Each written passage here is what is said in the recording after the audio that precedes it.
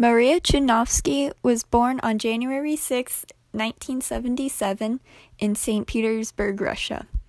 When she was 13 years old, she moved to Israel with her parents. Her parents were both engineers.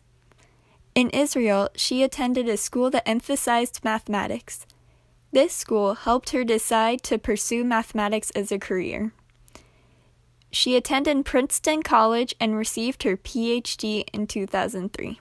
Soon after, Chudnovsky was named one of the Brilliant 10 by Popular Science magazine.